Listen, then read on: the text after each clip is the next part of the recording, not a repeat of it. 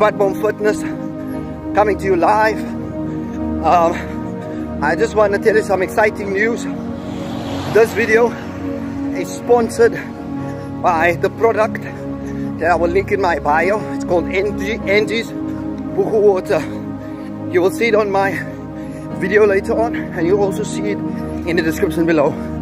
I will do a review of that water and the results thereof after I've been taking it for seven days consecutively. And I'll give you some insight on the taste profile but I'll also give you some insight how it affected my training how it affected my mood and also my hydration which is very important.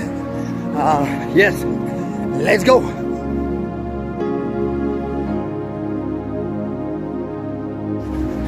Um, be mindful of the fact that today I am really want to encourage you um, to speak about the notion of the not realized dreams. There was a man in the Old Testament called Joseph. Joseph had a dream. So much so that his brothers got jealous and upset with him. In the end, they tried to kill him. They tried to take his life simply because he was a dreamer. They even labeled him dreamer. Let me tell you something. There are many times people around you that hate the dream that God has given unto you. They hate the mere fact that God is communicating to you the plans and the purposes that He has for your life. And they will try to do everything in their power to shut you up. They will try everything in their power to sabotage you. They will try everything in their power to sell you out. But I've got news for you.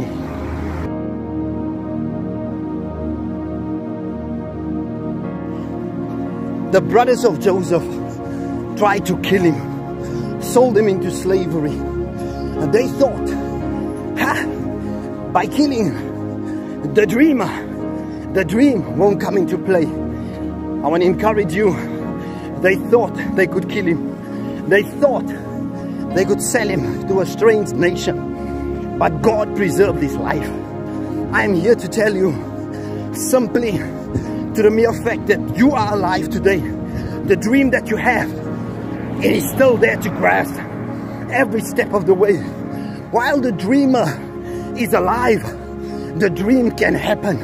I'm here to encourage you while there's still breath inside of you that God has ordained for you to have. The dream that you have in life will come into fruition simply because He's given you grace and a mandate to fulfill it. Don't die with your dreams. Go to the grave empty.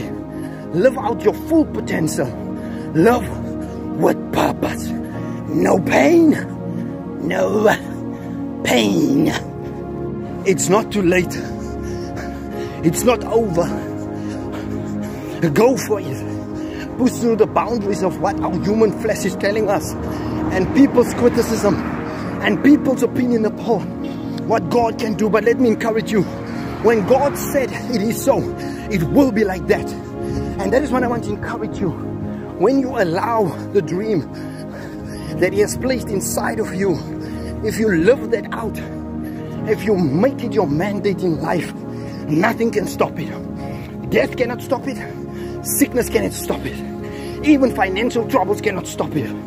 Because it is not the dreamer or the dream that is greater, but it is the dream giver that is the one that has orchestrated this whole thing. People might intend for your harm, but God has purposed it for the good. I hope you enjoyed this video. Um, I hope you also going to enjoy the training footage that I have for you. I just want to tell you no pain. This is day three of the 5K challenge. No pain.